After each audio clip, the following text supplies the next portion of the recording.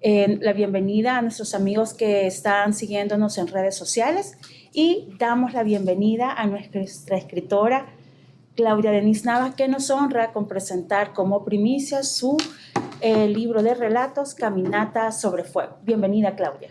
Gracias, Jenny. Gracias a la gente de la UCA que hace posible estos espacios. Bueno, me siento muy contenta también de, de estar entre tantos jóvenes, eso se contagia. Me siento muy contenta también de estar con ustedes. Bueno, eh, Claudia, ya hemos leído algunos de tus libros anteriores, como Criaturas de Paul Visal. También hemos conocido que has participado en poesía. De hecho, eh, aquí en UCA se celebra todos los años, ya llevamos 16 años realizando el certamen dedicado a los mártires y se puede, hay dos vías de participación, una es con cuento corto y otra es a través de poesía. Claudia ha recibido menciones honoríficas en ambas ramas. Pero ahora tenemos una compilación de cuentos solo de ella. También Claudia, la primera vez que leímos cuentos de ella estaban compilados en una antología, El territorio del ciprés. Pero de ahí en adelante hemos seguido teniendo noticias de Claudia y muy buenas siempre. Claudia, este libro, yo estaba leyendo el prólogo que ha sido hecho por Emilio Delgado y allí decía que estos cuentos pertenecen a la mejor versión del realismo. ¿Podrías comentarnos algo de eso? Bueno, eh, tal como dice Jenny, como para irles contando un poco también a ustedes sobre mi persona, eh, sí es el segundo libro, eh, he empezado escribiendo narrativa, tenía la intención de escribir desde bastante joven, quizás desde más joven de la edad que tienen eh, la mayoría de ustedes. Y bueno, la vida se vino sumando con un montón de responsabilidades. Eh, aprovechen ahora que todavía pueden leer porque luego no van a leer más que textos, informes de trabajo, recetas de los hospitales cuando ya tengan su bebé para ver qué le van a dar, bueno, toda una serie de cosas que le van comiendo a uno la existencia y ha sido ya un poco mayor, ya cuando mis hijos estaban crecidos, que he podido dedicarme a la escritura. Eh, quizás compartir con ustedes, pues, primeramente de que eh, cuando uno está como muy joven sacraliza la idea del escritor. Se piensa que el escritor o la escritora pues tienen una especie de, de angelito que está aquí sentado mientras uno escribe y que le está dictando al oído lo que va a escribir y realmente no es así. Escribir es un oficio que se va puliendo, pues un oficio así como eh, hacer una silla, así como hacer un pastel. Mientras más se practica, eh, mejor sale, ¿verdad? Por supuesto, hay ciertas reglas que se tienen que ir conociendo, gente también amiga que le puede ir diciendo a uno si está bien o no, si se entiende o no el mensaje que uno quiere transmitir y eh, bueno, así fuimos produciendo eh, varias, varios cuentos. Tal como decía Jenny, el primer, eh, el primer libro donde participé lo escribí con gente como ustedes, pues gente muy joven. yo era una pluma joven también porque no había publicado antes. Y el libro se llamó El territorio del ciprés. Fue una coincidencia estar con otra gente joven y teníamos en todos los cuentos, sin ponernos de acuerdo, eh, un tema común, que es la muerte. ¿Por qué creen ustedes que eh, nos unificaba ese tema?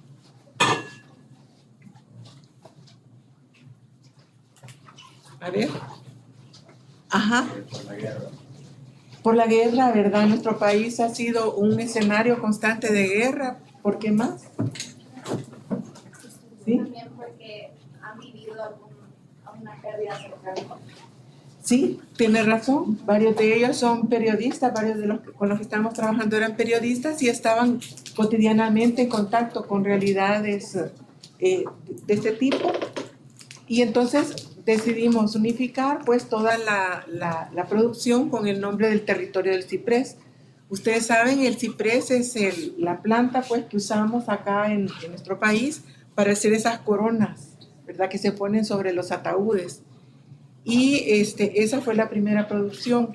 Luego cada quien siguió produciendo y con, comentarles pues que de mi parte he tenido el privilegio, porque realmente lo es, eh, de trabajar con comunidades durante varios años y en las comunidades, sobre todo urbanas, se van conociendo como muchas historias, eh, unas más lamentables, otras más tristes, eh, que, que, otras, pues, y unas afortunadas también de solidaridad, de cariño entre la gente. Y eh, salió el primer libro de cuentos de mi producción exclusiva, eran 14 cuentos y le, le pusimos ahí en concurso con la editorial Criaturas de Polvo y Sal. Ese está agotado, creo que en algunas partes se podrá hallar alguno que otro ejemplar, pero hacía referencia a eso, pues que en nuestro país eh, muchas veces decimos esa persona es bien salada porque tiene una mala suerte tremenda, ¿verdad? Pero también eh, la sal tiene un significado de gracia, de dar sabor, y eso es lo que se va encontrando en el libro. Y esta es la segunda, eh, la segunda producción pues que, que compila eh, varios, libros, varios cuentos que he venido trabajando durante años y otros que han tenido mención de honor, como mencionaba Jenny, pues este, como decía antes Jenny, en los certámenes de la UCA y que recogen realidades también eh, nuestras. este, este libro eh, se llama Caminata sobre el Fuego, aunque en realidad hace referencia al, al último cuento que, se, que tiene su nombre, pero decidimos pues nominar el libro, son 30 cuentos en total eh, con, el, con este nombre. Entonces, me decía Jenny, pues tal como mencionaba, eh, los cuentos han sido clasificados por el doctor en literatura que hizo el prólogo como eh, realismo, realismo literario. Pero hay, hay como un tipo de literatura, bueno, hablamos ahí de, de Harry Potter, de Simba del Marino, de toda una serie de, de relatos fantásticos que tienen más que ver con otro tipo de literatura, eh, casi como de, de diversión, de escape. Y eh, bueno, en este caso no es tanto así, no es que con el libro vayan a llorar completamente, pero este, es más apegado a la realidad. Este movimiento, eh, el realismo, eh, pues trata de que la obra de arte, o sea, el libro en sí, sea una documentación del ambiente. Y eh, yo considero que es valioso porque mucha gente no llega a conocer los territorios eh, de la gente más pobre, de la gente más desafortunada y a través de, estos textos pues se puede, se puede acceder a ellos. Eh, también el realismo surge eh, casi a la par de, el capitalismo, surge también cuando surge la nueva sociedad urbana y está más interesado en reflejar lo real que lo fantástico. No sé ahí, Jenny, si, si querías. Pues sí, yo he tenido el gusto, Claudia, de estar leyendo algunos de los relatos y yo veo que son como situaciones bien variadas, no es como solo, eh, por ejemplo, de literatura para mujer, literatura para jóvenes o para hombres, yo veo que hay diferentes visiones que tenés, o sea, vas viendo y es como que tomaras fotografías de la realidad y las has plasmado acá. Eh, me gustaría, por ejemplo, si querés leer un relato que a mí me parece bien interesante. Fíjense que yo sé que aquí hay de diferentes edades y a lo mejor todos los hombres que están aquí nunca tengan esa experiencia. Aún así puede resultar interesante. A mí me gustaría leerlo y que ustedes nos digan qué les parece también. Así es que voy a leer el primer relato que da inicio a este cuento, que da inicio a este libro, que se llama Pisa y Parto. Así es que lo voy a leer y sería bien chévere que entre todos comentemos el cuento. Dice, dice la leyenda que la pizza empezó como un pan salado de pobres, hecho de diferentes harinas. Era la plataforma para los vegetales más básicos como el ajo, la cebolla y las hierbas aromáticas. Paulatinamente se le fueron añadiendo ingredientes más sofisticados cocidos en aceite de oliva. Aunque Grecia y Egipto se atribuyen su origen, la mayoría de gente la reconoce como un plato italiano, a tal grado que los colores de su bandera se asocian a los ingredientes actuales de la pizza, verde, blanco y rojo por la albahaca, el queso y el tomate.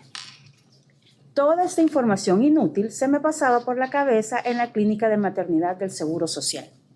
Estaba atada a un suero que, por segundo día, me goteaba oxitocina para provocar un parto que ya se había dilatado. Tenía un rótulo en la cabecera con las iniciales N B. No recuerdo en qué momento me enteré de que esas iniciales significaban nada por boca. Ayuno completo, sin comida ni bebida alguna. Así de drástico y novedoso era todo lo que se hacía con mi cuerpo que daba a luz por primera vez. Había entrado al hospital el día anterior, con 42 semanas de embarazo y con la consigna de no salir de allí sin haber parido. Con la presteza con que las abuelas rurales alinean a una gallina, un séquito de enfermeras y auxiliares me había despojado de toda mi ropa y zapatos y me había enfundado en una bata de manta cruda que me quedaba, por me quedaba arriba de la media pierna, aún más levantada de delante por mi barriga. Esa prenda se confecciona en estándar, acorde al metro y medio de estatura de la mayoría de mujeres latinas. Aquí me identifico yo. Estatura que yo había superado por 20 centímetros desde mi adolescencia. Pero era mucho pedir que se estuvieran en cuenta tan pequeñas diferencias.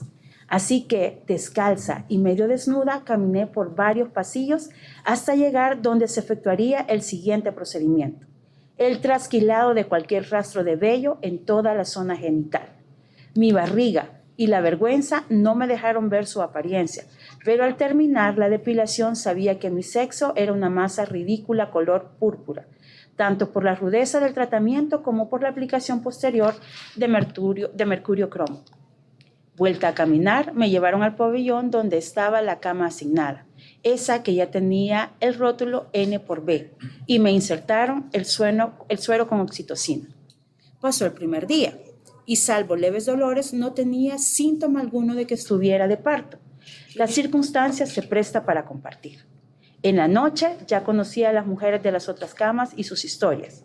Había una chica de 17 años, de pelo rizado y rubio, que igualaba mi situación de embarazo posmaduro. Otra estaba en sus primeros meses de gestación, con desnutrición y deshidratación críticas, porque no lograba retener alimento alguno. Otra esperaba ver nacer pronto su cuarto bebé. Hubo una mujer más, la que estaba justo al lado de mi cama, cuya historia no pude retener porque me la contó mientras estaba subida en el pato evacuando sus intestinos. Dormimos con la dulzura de una cárcel, con las luces de reflectores en el rostro y el sueño interrumpido. A cada momento entraban enfermeras que llegaban a atender a algunas de nosotras anunciando a pleno pulmón, Señora, de vuelta que la voy a inyectar. Señora, le voy a tomar la temperatura. Señora, le toca su medicina. Siéntese. Al día siguiente, nuevo suelo. Supe que eran tres días durante los que usualmente se probaba el parto inducido antes de decidir por una cesárea. Claro, había que ahorrar lo que se pudiera de los recursos del Estado. No importaba si en medio había sufrimiento fetal. Pero estaba hablando de la pizza, ¿verdad? Ustedes estarán preguntando a qué venía semejante introducción si luego me iba a poner a quejarme de la violencia obstétrica. Conste, cuando di a luz a mi hijo no se usaba todavía ese término. Se daba por sentado que la paciente tenía que ser eso, una mujer paciente con todo lo que se quiera hacer, sin derecho a preguntar o replicar, en suma, sin poder. Pues bien, mi segundo día con oxitocina y nada por boca coincidió con la celebración del Día del Médico. El flamante 14 de julio era celebrado por las enfermeras que, como buenas cortes de lacayos, rendían pleitesía a su señor. Habían abierto sus carteras para invertir parte de sus míseros sueldos en congraciarse con los divinos hombres de blanco. Estudiantes de medicina, médicos residentes, los recién graduados y las vacas sagradas, o sea, los médicos más antiguos, esos que rara vez las miraban al rostro. En todos los pisos del hospital, en todas las estaciones de servicio, las enfermeras abrían cajas de pastel, botellas de soda, tarros de sorbete y mucha pizza, abundante pizza. por lo que el suero de oxitocina apenas había movido mis entrañas, el olor del queso fundido y la harina horneada movieron mis intestinos con la intensidad con que vibra una cuerda de guitarra. No era la única mujer que estaba ahí en condición de ayuno. Otras más se vieron alteradas por las emanaciones humeantes de las porciones repartidas en platos desechables por todo el hospital, exclusivas para el deleite de los dioses. Esa faena se repitió a lo largo del día, pues había que celebrar a los diferentes médicos que ingresaban en el cambio de turno. Lo que pudiéramos sentir los pacientes no era importante. Justo cuando iba a empezar mi tercer día de oxitocina, después de dos días fallidos, dejé mi calidad de paciente y empecé a gritarle a las divinidades para que me explicaran por qué no me hacían la cesárea de una buena vez. Mis gritos se escucharon en el cielo ordenaron una ultrasonografía y decidieron intervenir el mismo día. Aún tuve que permanecer dos días más en ese hospital. Hubieran sido tres, porque los médicos esperaban que evacuara normalmente antes de darme el alta. Pero hágame el favor, doctor, refuté. Me han operado por una cesárea, no del intestino. ¿Cómo se le ocurre que voy a evacuar si apenas he comido? Llevo tres días de ayuno y dos de dieta líquida.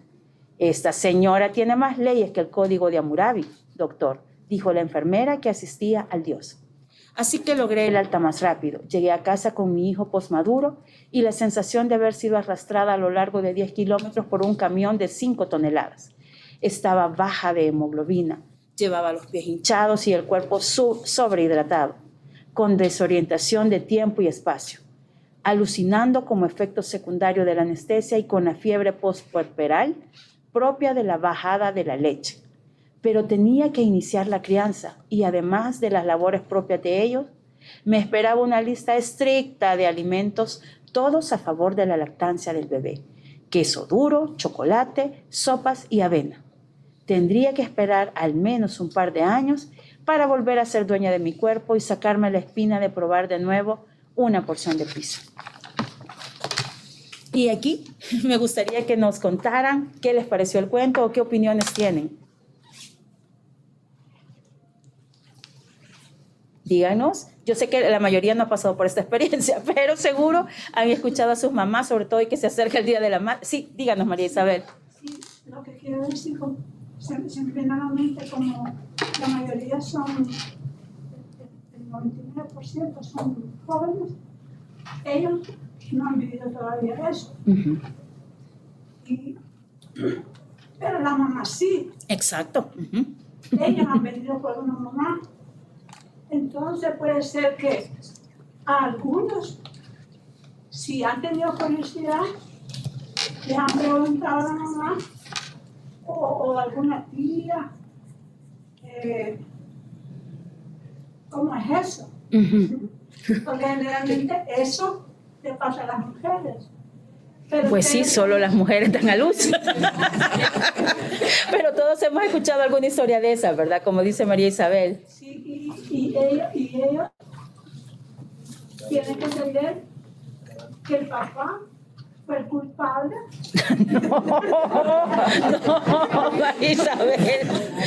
Fue culpable de, esa, de esa experiencia que las mujeres eh, quizás no lo pueden llamar culpabilidad, pero también como que es un, un proceso un proceso natural que para que, para que, para que nosotros existamos, aún yo que ya,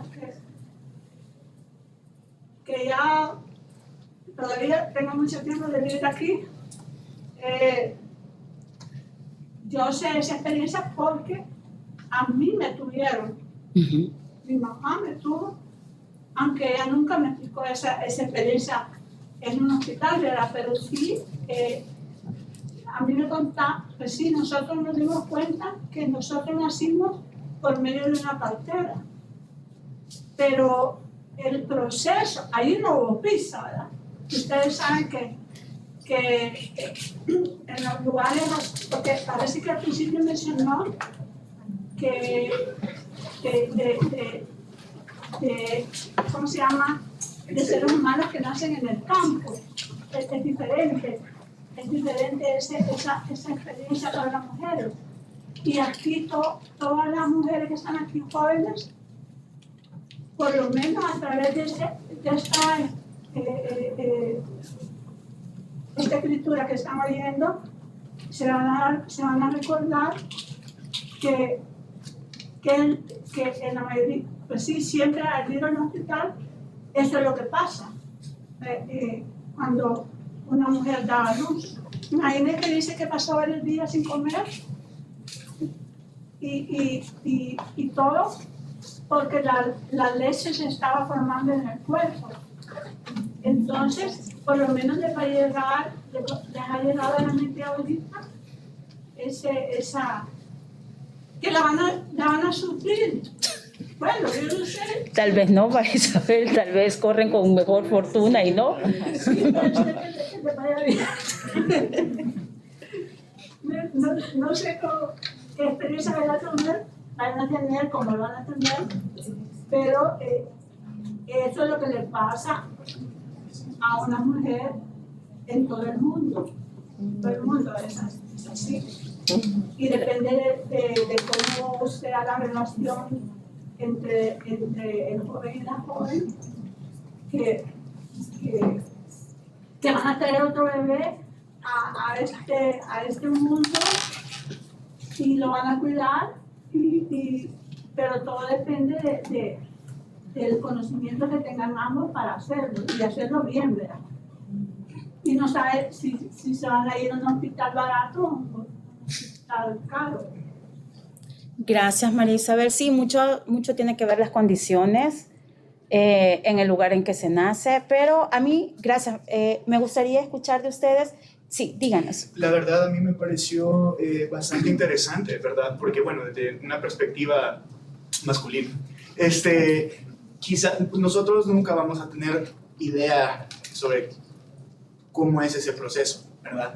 Este, quizá a lo mucho eh, nosotros hemos podido ver a través de películas, ¿verdad? Eh, quizá este, fracciones de mujeres dando a luz, ¿verdad? Y solo se les puede ver gritando, se les puede ver molestias, incluso yo de las, eh, de las personas que yo he conocido recientemente, incluso un primo mío eh, tuvo una, una hija y eh, eh, ella tuvo el privilegio de tener a, a su hija en, en un hospital privado eh, con una atención muy buena, ¿verdad? Eh, sin complicaciones. Y eh, lo que me pareció impresionante fue eh, o sea, la historia en general y escuchar cada uno, de la, cada uno de los casos. Porque usted relató lo que usted vio, pero en la mente de las mujeres que estaban ahí a la par suya, también probablemente estaba todo un mundo de ideas que este, así diariamente pasa eh, a nivel global eh, en diferentes mujeres, ¿verdad? Y eh, me pareció impresionante, honestamente. Muchas Bueno, gracias. gracias. Realmente, tal como decía María Isabel, yo esperaría que este tipo de relatos por lo menos mo- motive también a gente joven como ustedes a preguntarle a su mamá más a profundidad y sin tanto adorno cómo fue ese proceso. Porque generalmente la maternidad, eh, igual que la muerte, son fenómenos que se suelen eh, romantizar y realmente son experiencias muy duras. Eh, son procesos también, no es de un momento.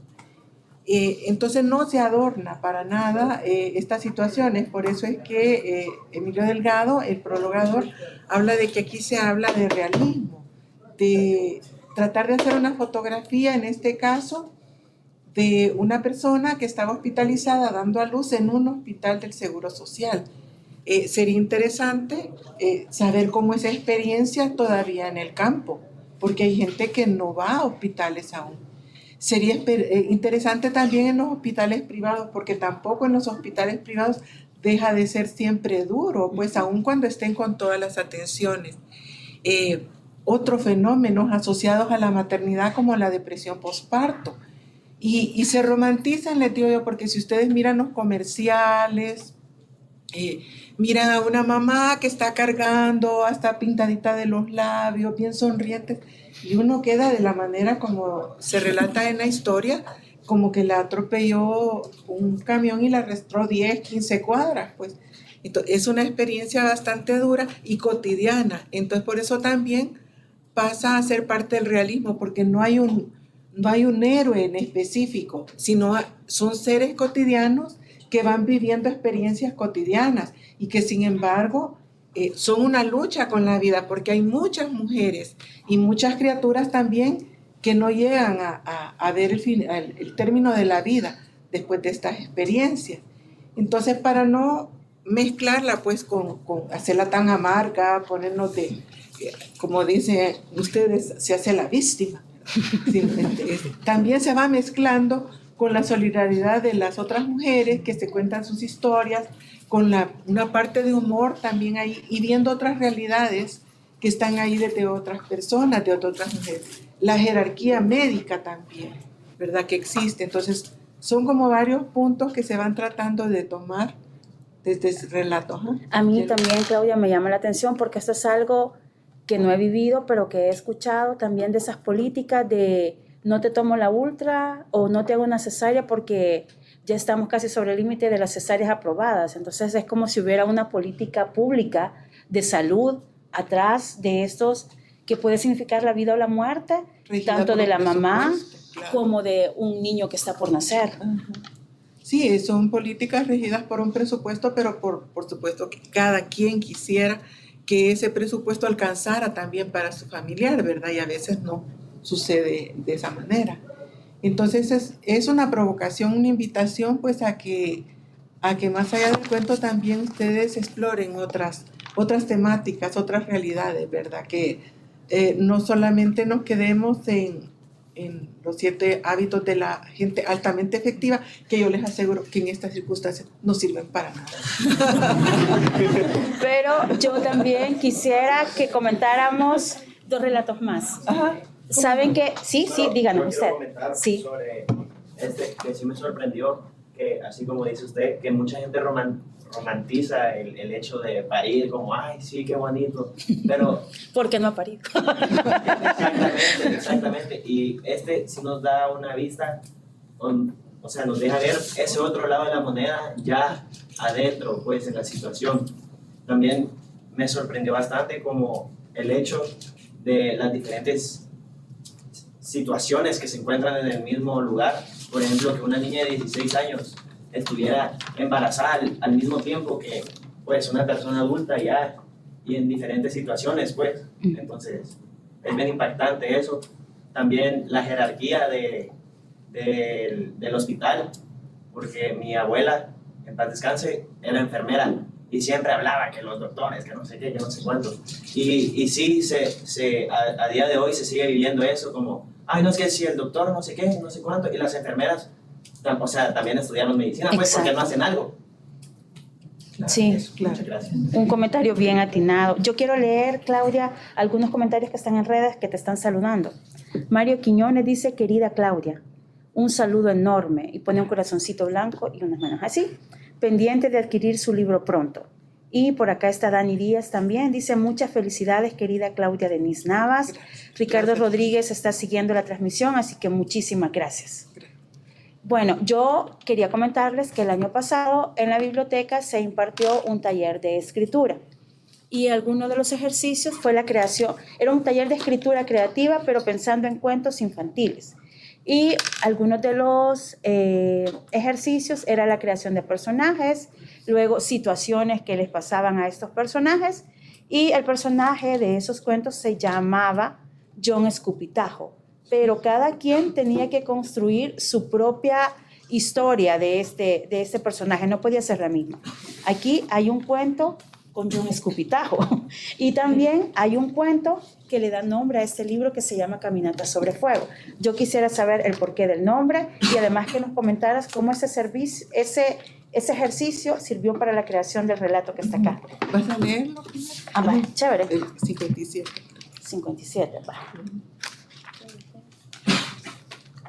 Sí, yo cuando lo vi es como, ajá, John Escupitajo llegó a ver la luz de las editoriales. Aquí dice, el relato que Claudia Denis le puso se llama Por el mar. Juan Escupitajo llevaba a la espalda los recuerdos de una guerra en la que vino al mundo y que, después de 70 años, aún no había acabado. había militado en el ejército guerrillero, donde no pasó de ser un colaborador eventual. Luego de varios años, se unió a una empresa de seguridad, pero sus compañeros jóvenes se burlaban de él por su edad, su cojera y su mal carácter. Así que tomó el dinero que le ofrecieron por darse de baja en la empresa y compró un antiguo granero en la colina de la Ceiba. Después de un par de días de descanso, Juan se ocupó de acondicionar el granero. No se molestó en cambiar la cortina raída ni de ordenar el rimero de asadores oxidados. En cambio, apiló unos ladrillos de barro que encontró dispersos. Colocó sobre ellos una puerta ruinosa que cubrió con paja seca y sacos de enequén para que le sirvieran de camastro. Remendó las patas a una mesa sobre la que colocó un cántaro de barro para guardar agua fresca.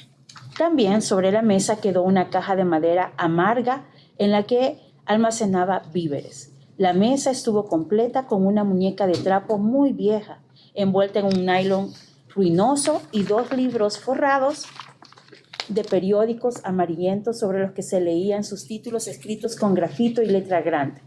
Alicia frente al espejo y el mago de Oz. Juan no era hombre de pláticas largas, mucho menos de recibir o hacer visitas. La gente del poblado cercano le temía un poco, porque en las noches sin luna lo escuchaban gritar y llorar con todas sus fuerzas. Apenas lo conocían, pero bien pronto se ganó el apodo de Juan Escupitajo por su hábito de masticar y escupir tabaco. El día, el día de plaza, Juan llegaba al pueblo. Usualmente, serenas, ese día las calles se llenaban del cacareo de las gallinas, del pregón de los comerciantes y los olores a carne frita y café.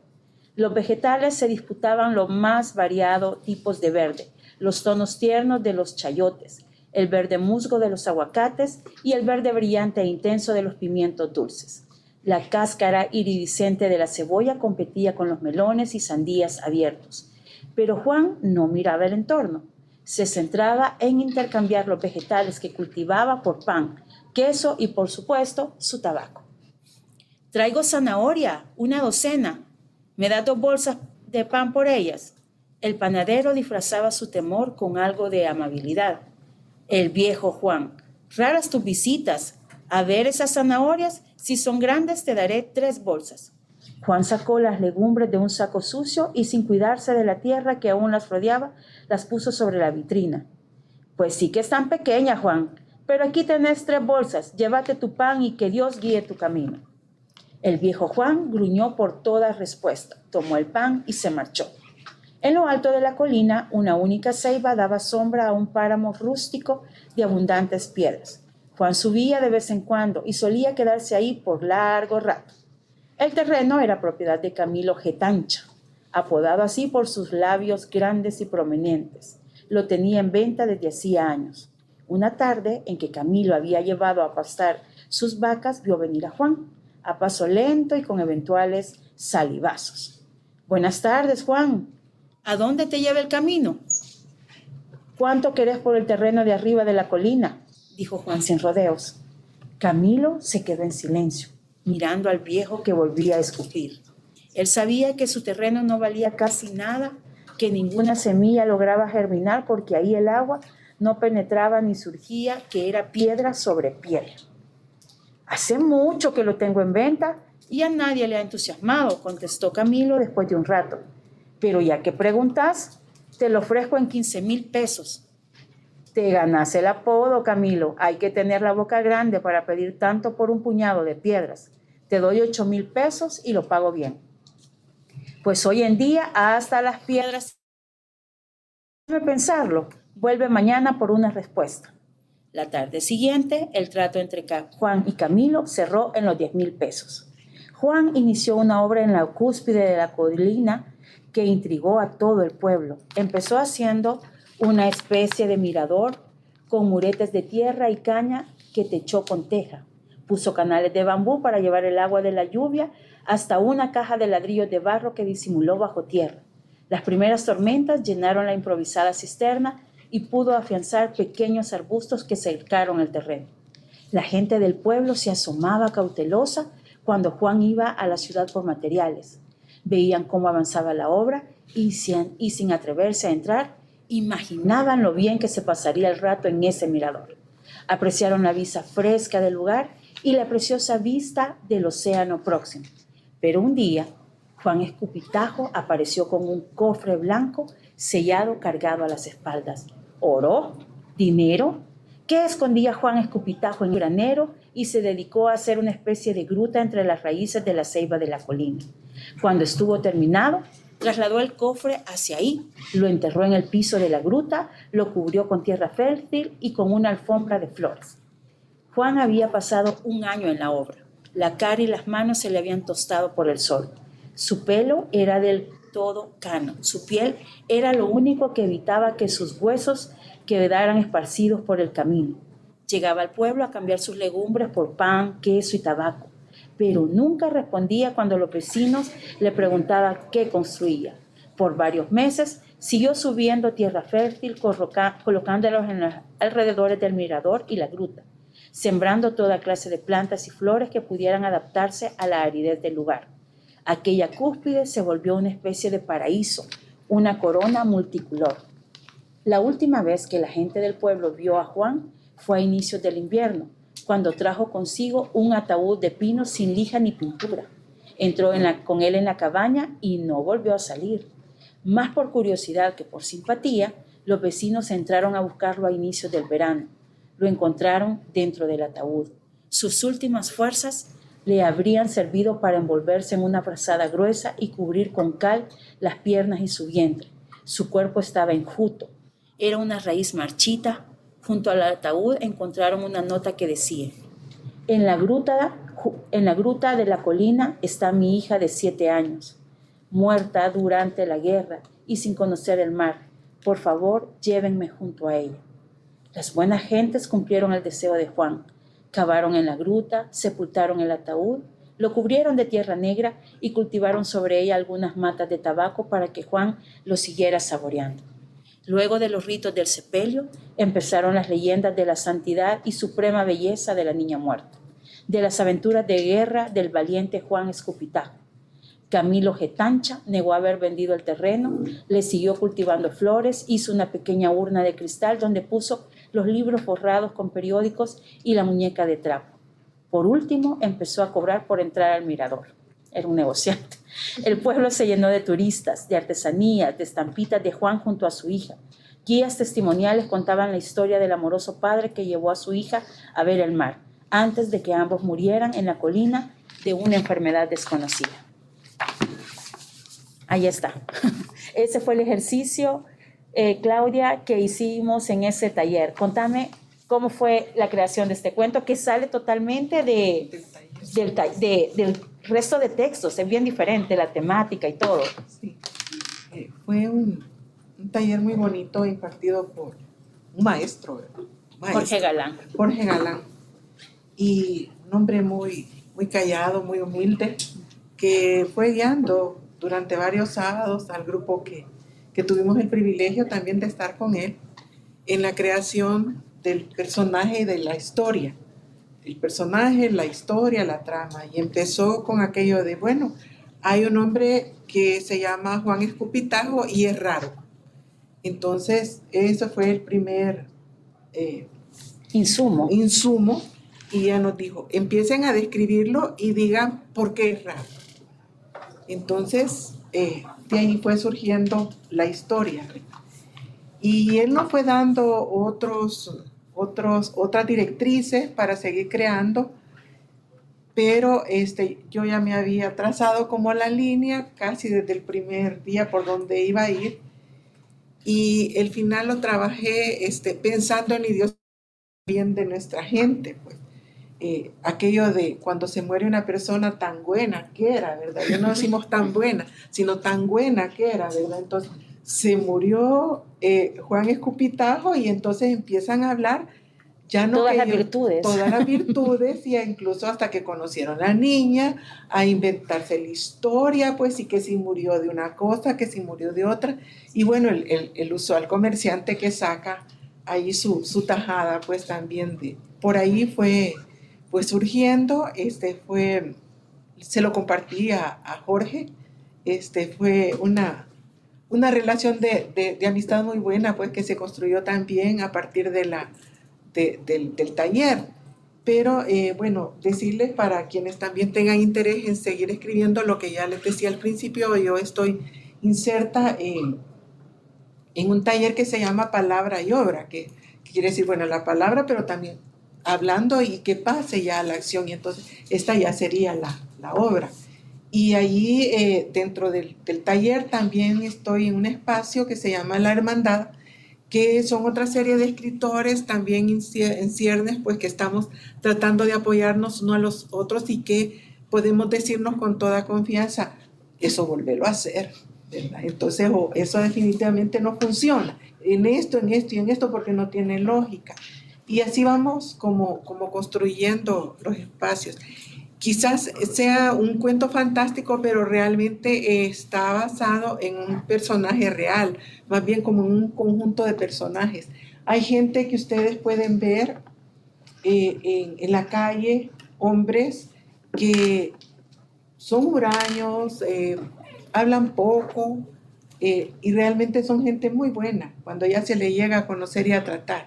Y como todos, pues tienen una historia también que contar, una historia de vida por la cual vale la pena acercarse. Bueno, yo quiero agregar algunas cosas de Claudia, porque uno no puede decir, no, se suena presumido si uno de, mí, de sí mismo dice, es que yo era bien disciplinada en ese taller. Entonces, pero yo que estuve un poco acompañando el taller, puedo contar que Claudia es bien disciplinada en su trabajo, porque este, este ejercicio era para todos los asistentes al taller, pero no es que todos lo realizaron. Y la tarea era presentar como un esquema de ese cuento al final, y Claudia sí lo hizo, y podemos ver que aquí está ese relato construido, Claudia. Que yo creería que eh, a mí me parece bien interesante esta narración porque se aleja bastante del estilo que has venido trayendo de esos cuentos que son cabal eh, fotografías de la realidad, diría yo, pero este cuento no, este ya alude a la fantasía, entonces creo que es bonito también escucharte narrar en, en otro género. Sí, hay, hay otros cuentos que van a encontrar acá.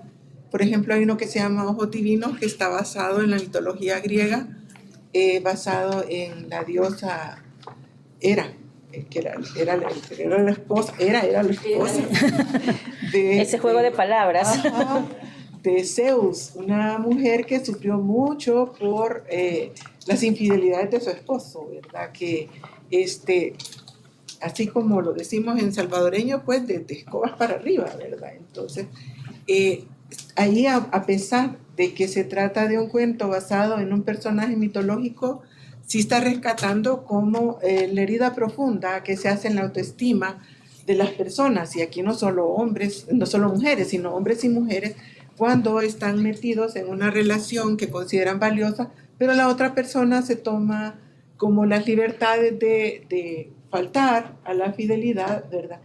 Hay un sufrimiento profundo del cual cuesta salir. Entonces, eh, aunque esté hecho sobre la mitología, también tiene bases reales. Igual hay otro donde prácticamente se trata de una fábula, eh, porque los personajes son casi todos animales, miseria y espanto. Espanto de, por, sí está re- reflejado en un perro, eh, pero está hablando de una, una muchacha que es forzada pues a probar que sigue siendo virgen.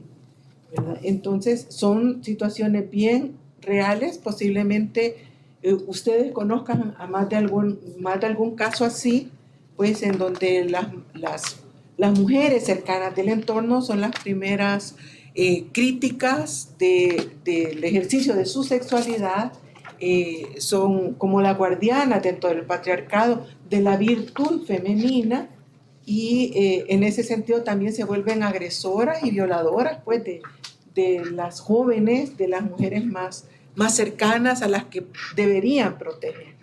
Claudia, y a mí también me gustaría que nos comentaras un poco, se lo voy a mostrar, las ilustraciones que tiene el libro al interior. Sí, Entonces, nos gustaría que nos comentaras de esto, sí. quién lo hizo, cuál es, cuál es la idea atrás de estas ilustraciones, porque me parece que es una aguja, ¿verdad? Sí. La que está en la frente. Eh, esta, esta portada que empieza con un bordado como el, el que vemos en, en el mercado central, donde venden las costuras esas en Dacron para que las, la gente las compre y las borde. Así empieza y termina en el rostro de una joven. El rostro eh, tiene una aguja clavada en la frente y eh, pues fue un regalo de Carmen Elena Trigueros, una artista visual, también una emprendedora eh, que tiene el negocio La Canela, muy dulce, muy, bonito, ahí lo pueden buscar en el Facebook. Y lo adoptó la, la, la editorial, quizá valga también la pena hablar un poquito de la editorial. La editorial se llama Ojo de Cuervo, es una editorial pequeña, salvadoreña, que se trata de, de relatos de las mujeres salvadoreñas, rescata a la escritura de mujeres o sobre mujeres. Y Ojo de Cuervo hace referencia pues a un verso de Claribel la Alegría, una nica salvadoreña también que estamos celebrando en estos días. El centenario. El centenario, ¿verdad? Entonces, eh, tiene el concurso de Susana Reyes, que es la directora del editorial y que también es mi editora personal, pues, o sea, los cuentos que están acá eh, a veces han sido trabajados de noche, eh, en línea, eh, esto está, funciona, esto no funciona, hasta que está satisfacción como para que también la editorial se sienta satisfecha pues de lo que está publicando. Y, y, yo también con que el cuento o el relato así quede marcado. Más los, las, las, los diseños, pues los diseños. Eh, eh, este libro tiene el color verde porque es prácticamente lo opuesto al color salmón que tenía el primer libro que es eh, Criaturas de Polvo y Sal. Entonces, hay un montón de, de, de detalles, de, es una orfebrería fina, pues lo que lleva a un libro. No crean que, que, ¿cómo se llama? Nada de esto reporta lucro, pues, porque por muy cómodo que esté un libro en la librería, cuesta también que se mueva, ¿verdad? No, este Mejor, libro, Claudia, está en la librería UCA, ¿verdad? Por sí. si alguien aquí desea obtenerlo, pueden pasar a la librería UCA, está a la venta. Sí, y se ayuda al editorial también, que como les digo, sigue apoyando a otras mujeres, ¿verdad? Que escriben.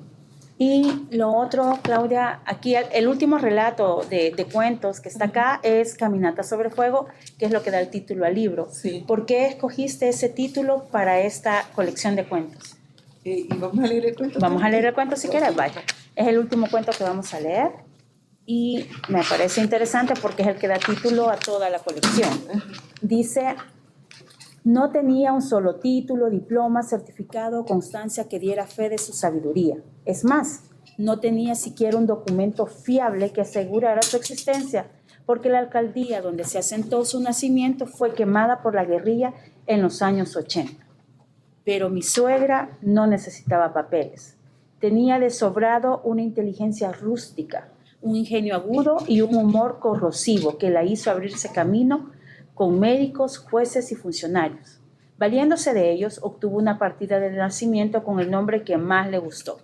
Dice la leyenda que su nombre original era María Julia, pero prescindió del María, con el que se bautizaba como primer nombre a todas las niñas nacidas en los años 30 y lo cambió por Ana. Claro, la señora Santa Ana. Con todo disimulo estaba por dos centímetros más arriba que cualquier María, solo por haber dado a luz. Ana Julia llegó a vivir con nosotros cuando nació mi primer hijo y se quedó también para crecer a, mis, para crecer a mi segunda hija. Los tomó a su cargo desde que eran bebés. Cuando nos dejó, ellos eran graduados universitarios. Su voz de soprano sonaba junto con el correr del chorro y el ruido de las cacerolas. Desde las 5 de la mañana hasta las 11 de la noche yo tenía la fortuna de huir hacia mi trabajo, pero no la chica que nos ayudaba con el quehacer más pesado. ¡Apúrese, niña! Era su grito constante. Dejé la pereza para la noche, sáquele ritmo al cuerpo. En la cama es donde uno se estira y se encoge. ¿A qué hora va a terminar el oficio con ese pasito? Y luego venían las letanías para ablandar la conciencia, una oratoria efectiva para destruir el autoestima de cualquiera. Yo le ayudo con el quehacer para que usted no se atrase, no para que se atenga ni para que se aproveche de mí. Bien dice el dicho que quien encuentra un culo flojo lo suelta hasta que lo deja pedor.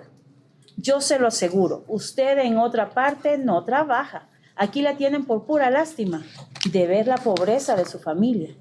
Ana Julia se asumía como una empleada muy poco como mi suegra o abuela de mis hijos. Jamás se quitaba el delantal ni en los eventos más solemnes. Alguna vez, más en serio que en broma, me pidió que le comprara un uniforme como el que lleva el servicio doméstico en las casas de gente de dinero.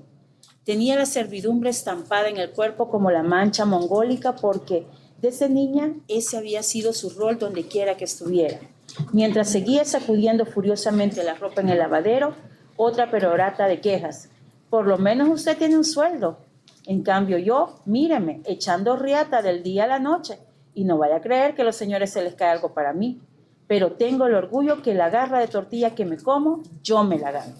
En fin, usted se da cuenta, solo dos veces al día me sirvo poquito de frijoles. Yo de joven comía bastante. Ahora me he vuelto tan infeliz que toda la comida me da asco.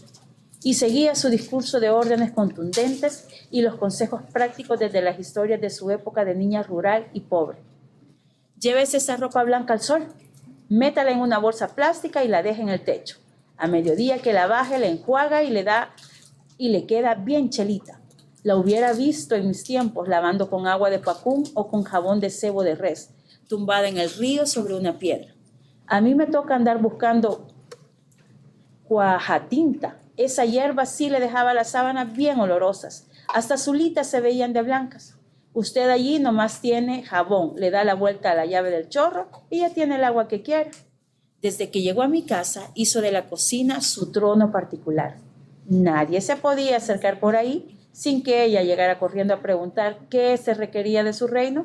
Pero mientras cocinaba, metía cuñas y espuelas para la familia a través del discurso a la chica del oficio. A ver cuándo se acerca a la cocina, niña, Usted no quiere agarrar el oficio completo. Ya se atuvo a que estoy yo aquí. No crea que eso le va a durar para siempre. El hijo casado, casa quiere. A mí nunca me ha gustado estar arrimada a mis hijos porque después se pelean con sus mujeres y le echan el muerto a una. Las carnes juntas se hieden, nos decía mi mamá, y las medias ni de nylon son buenas. Así que después de la Navidad me voy, me voy a la mierda. Pasado el 31 de diciembre, adiós mis flores. Amenaza tras amenaza, jamás se fue. En los últimos años que estuvo con nosotros, el ruido de sus palabras se mezcló con la tos. Se instaló en ella una fibrosis pulmonar derivada de los años trabajando en panaderías de pueblo. Entre tos y tos, su discurso no tenía fin. Que se apure, le digo, tuerza, la, tuerza luego esa ropa que lo único que tiene es sudor. No está lavando la ropa de un albañil o de un mecánico.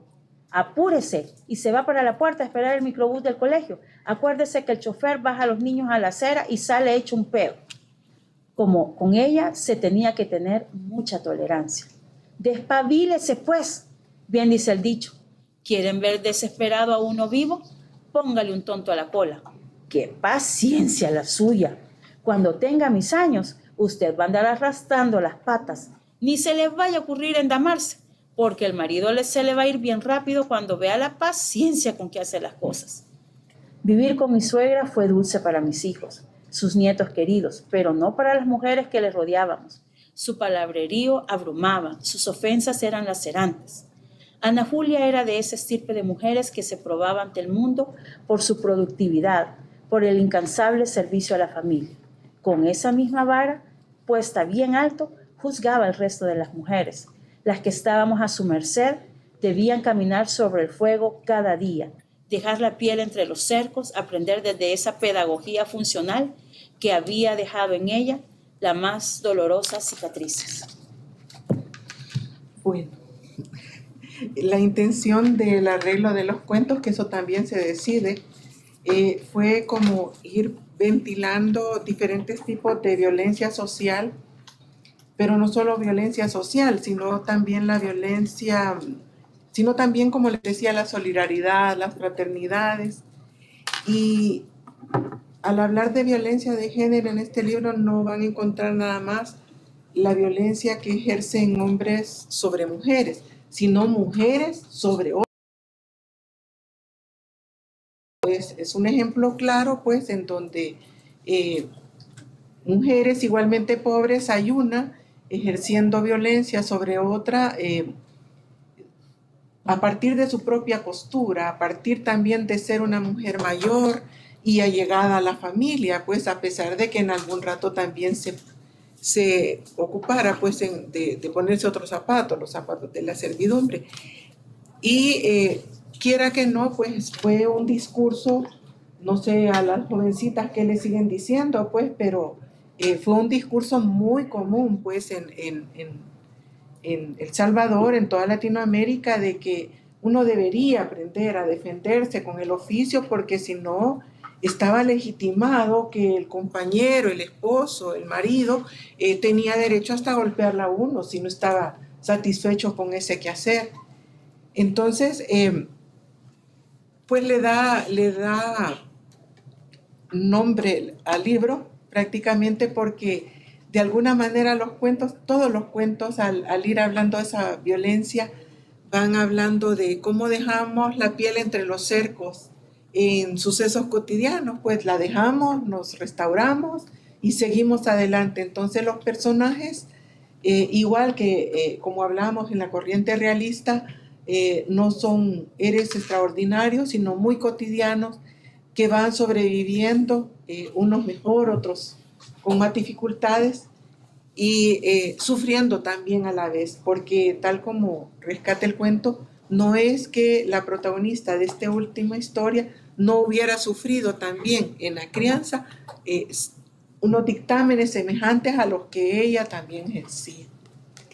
quiero leer unos alumnos. Okay. Por aquí está Ilish Rauda, Víctor Trejo y también está por acá Ricardo Rodríguez, pendiente de la tertulia, Claudia. Gracias, gracias. Saludos.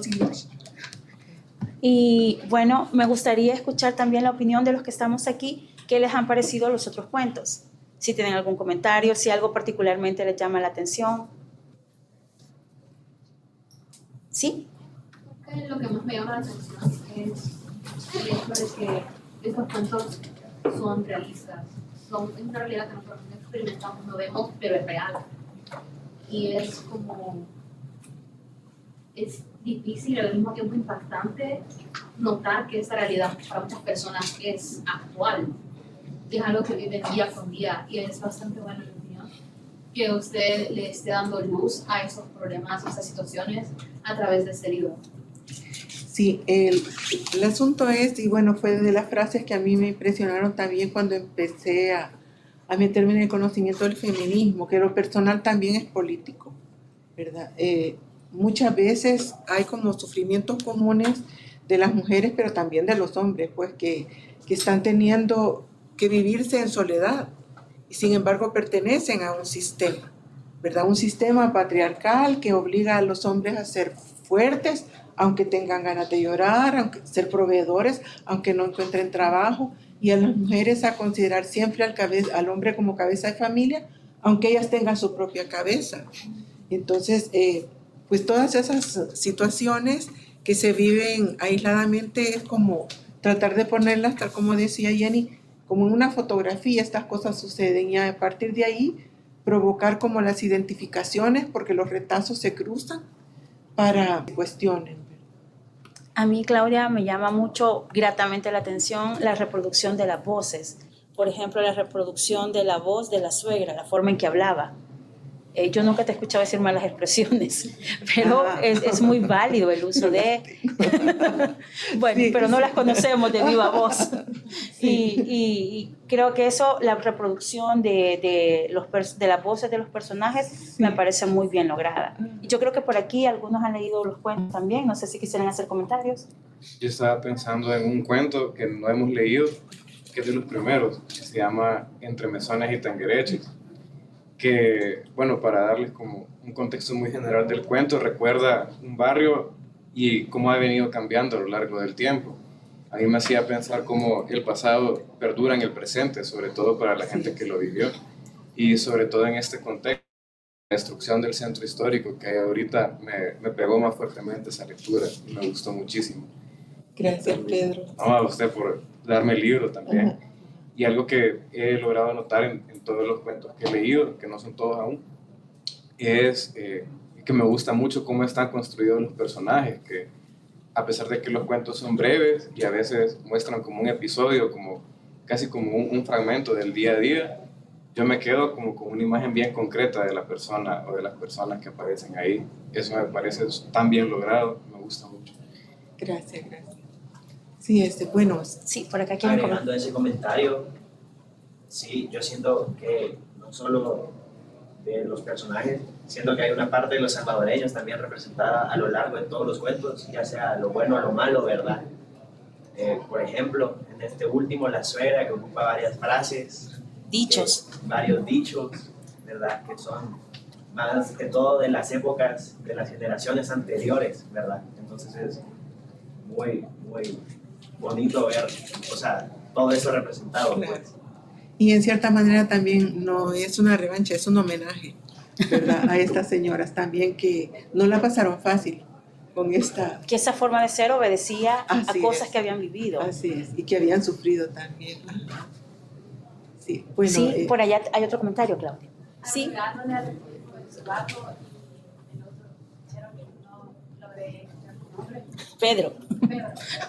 otro chero que escuchar su nombre, Pedro. lo algo que yo no he leído el libro, pero lo que me gusta es que es como son cuartos cortos, aunque son cortos, siento que en el po- poquito espacio que tienen, logran capturar, capturar, cautivar, cautivar súper bien como esas problemáticas que, que están narrando, que puede ser que son complejas, pero aún así en el espacio corto lograr narrarlas. gracias, gracias. Mira, Ena. eh, yo más que un comentario, este, quiero hacer una pregunta, porque si bien es cierto retratar, digamos, la idiosincrasia salvadoreña y lo has hecho muy bien, pero en este último cuento, en el de la suegra, suponiendo que sea autobiográfico, Ajá. ¿qué dice tu familia de eso? Ah, bueno, en, en, en este cuento sí hay una mezcla de, de cuentos, de relatos y de memorias. Y de memorias. Eh, mis hijos que lo han visto, pues sí que ellos vieron el otro lado de, las, de, la, de la moneda, pues que vieron a su abuela, eh, saben que así es.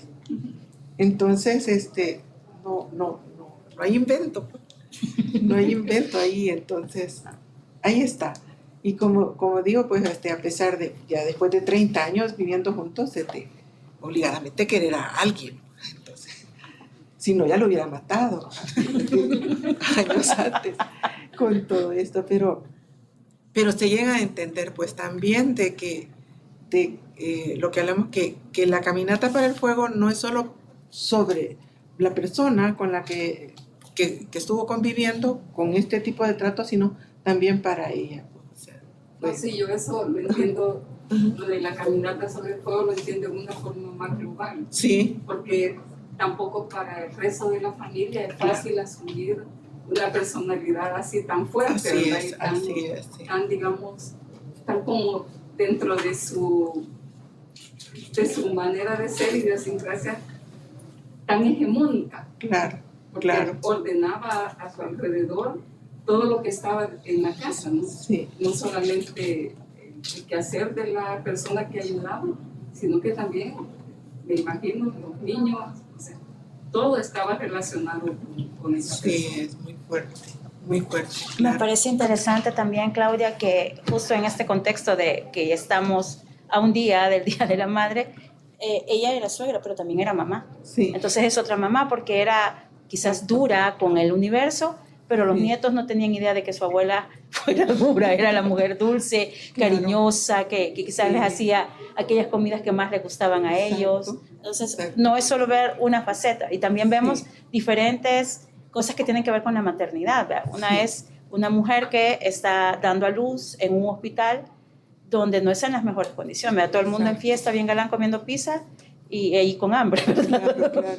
Y por otro está esta mujer férrea, imponiendo orden a su manera Sí. en un hogar, pero siendo la mujer tierna con sus nietos. Así es. Sí, van a encontrar también este, algunos otros relatos. Hay uno que personalmente me gusta mucho, se llama Consuelo Blanco, y es sobre el hospital de maternidad, el, el que ya está derrumbado. Entonces, ahí vuelvo a retomar lo de la jerarquía médica. Este, también rescato, hablando de mamá, la figura de mi mamá. ¿verdad? Y este, cómo esta pirámide, esta pirámide médica, fue capaz de abrirse a- ante circunstancias bien difíciles, porque tanto el Seguro Social, el Hospital del Seguro Social, como el Hospital de Maternidad, fueron escenarios acogedores para los estudiantes en la matanza del 30 de julio. Entonces, eh, rescata también parte de la, de la, De la historia memoria histórica. Sí, de la memoria histórica.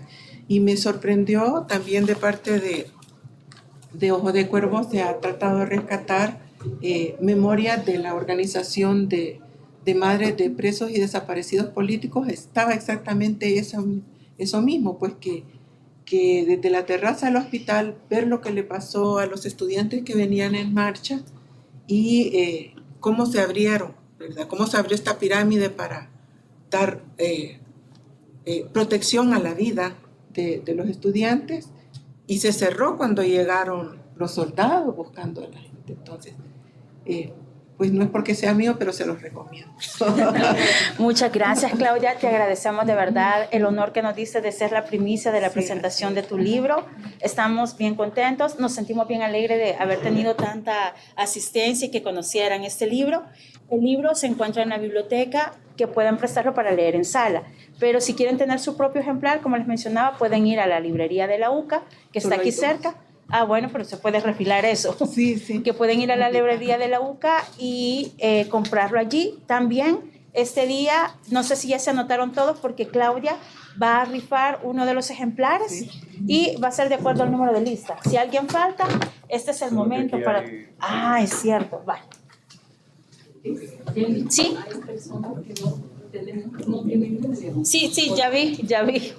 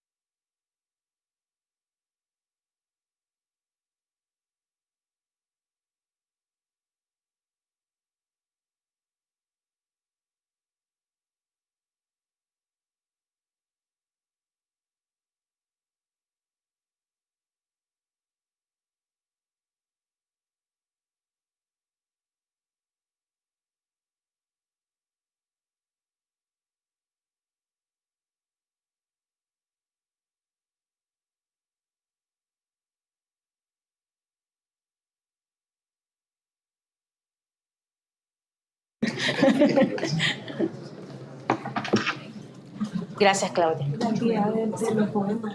Es cierto, perdón, gracias, gracias, Violeta. El 14 de mayo, en honor al Día Nacional de la Poesía, vamos a tener una actividad que se llama Llena de Poesía el CRAI, es decir, esta biblioteca.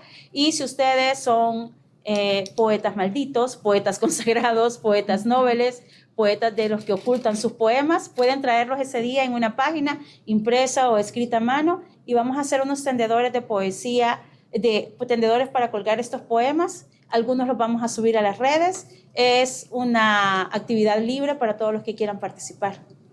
Gracias, Violeta. Veamos. Vamos a ponerles el numerito así. Manuel. Todavía se están anotando. Para mientras, Ajá. eh, yo, Sí, así como todos, queríamos agradecerles a ustedes por dejarnos entrar aquí el día de hoy. y también tomarnos en cuenta para todas las siguientes actividades. Así que muchas gracias. Gracias a ustedes, en realidad nos sentimos bien contentos.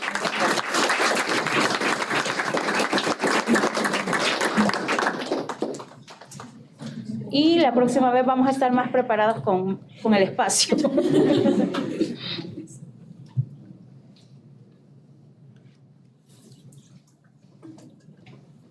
En tres.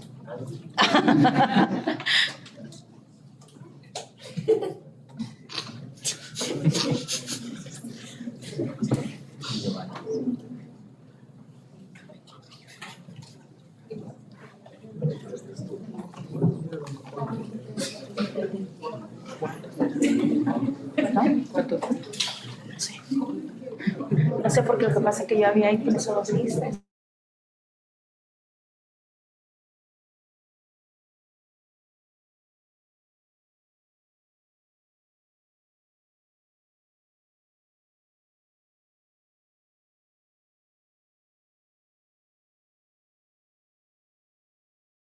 El equipo de comunicaciones del CRAI, que las tertulias también tienen un podcast que ustedes pueden buscar en Spotify. ¿Cómo lo encuentran, Javi? Tertulias Literarias BFI. Ahí pueden encontrarlo por si no pueden venir a una tertulia de manera presencial o verlo en modalidad virtual. Hemos pensado en otro mecanismo que es formato podcast para que puedan escucharlo en la mañana, en la tarde, en la noche, mientras estudian, hacen tareas o trabajan. Bien ensayado tiene el comercial. Sí, gracias, Javier.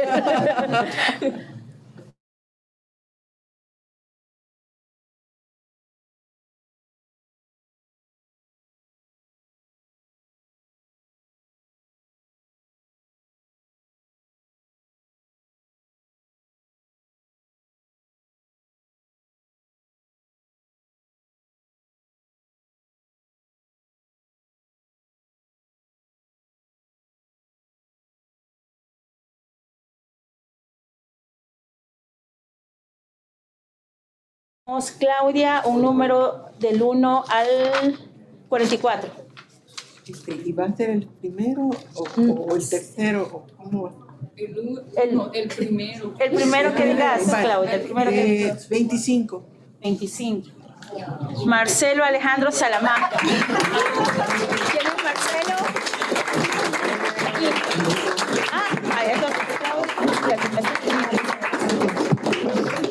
Bueno, Marcelo. Gracias. Foto, foto, Marcia. Foto, foto. Pero aquí está el foto.